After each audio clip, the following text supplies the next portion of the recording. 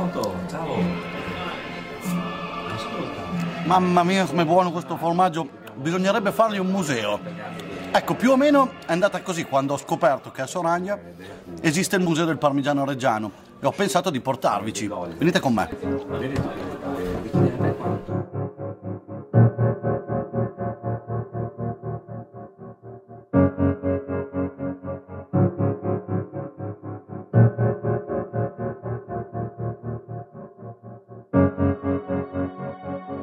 Quello che trovo incredibile è che da più di mille anni è un prodotto che viene realizzato con soli tre ingredienti, latte, caglio e sale. Io non credo che esista un qualche cosa di simile in tutti gli altri prodotti, soprattutto con un risultato così importante, così eccezionale.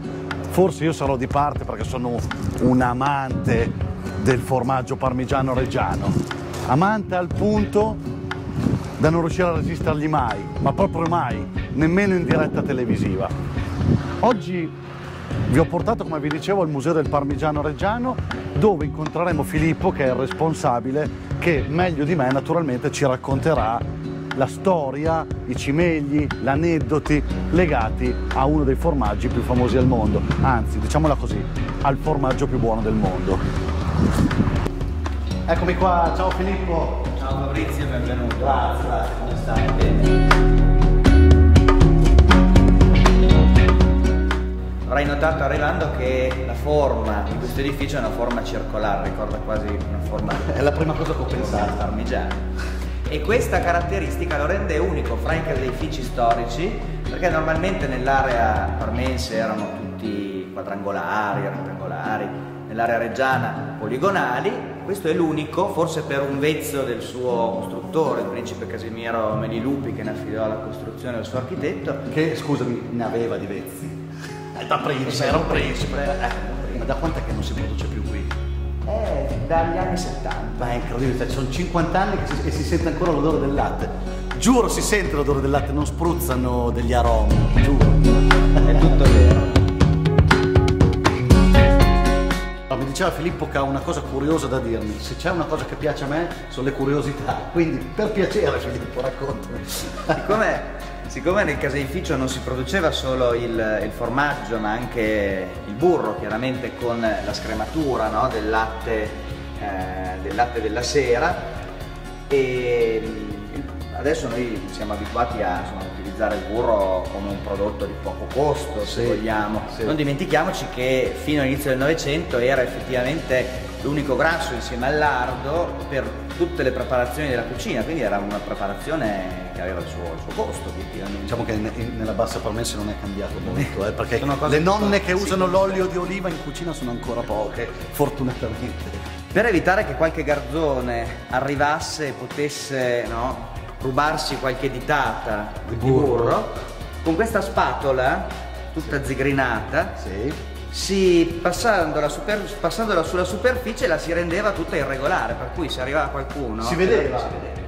Ah, era una specie di antifurto sostanzialmente. Dunque, 6 scalini, 5 gradi in meno.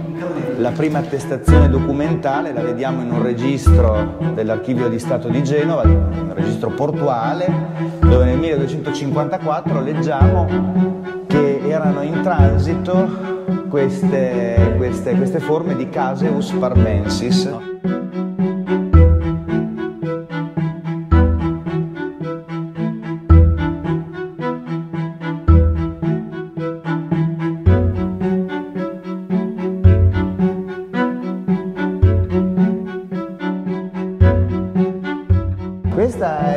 600 Ma, wow. E la cosa molto interessante è che vediamo una persona che tiene in mano mezza forma.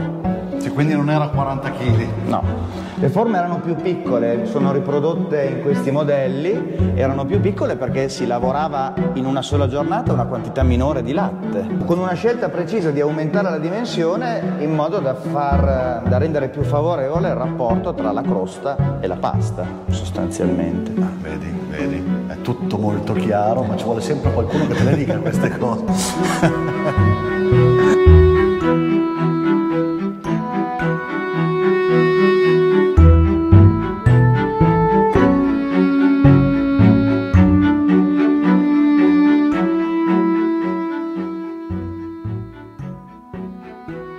io, ci provo. È per il burro. No, questa è la rotella che caso. serviva per agitare. Non è a caso guardo Ferdi Wild su Facebook tutti i giorni, usano una cosa simile per fare il burro. Vabbè, comunque questo serve comunque per il parmigiano. La rotella sì, sì, serviva per agitare il, il latte e le due diverse versioni, quella più recente e quella più antica del cosiddetto spino, Sì. cioè lo strumento che viene, viene utilizzato per rompere la cagliata. Che guarda, rompere la cagliata significa concretamente mandar giù la grana, cioè Esatto. far depositare sul fondo la grana che Esatto. si forma grazie al caglio. Grazie al caglio. Grazie al caglio! Era spontanea E questa. questa è una piccola parte dell'esperienza di visita che si può fare. Bella, bella. Però adesso Filippo mi perdonerai, è due ore che mi parli di parmigiano reggiano. Dico, poi anche, potresti farmelo anche assaggiare, cosa ne pensi? Va bene, dai, venite che... Eh, allora aspetta, spengo. Andiamo. Tic e andiamo.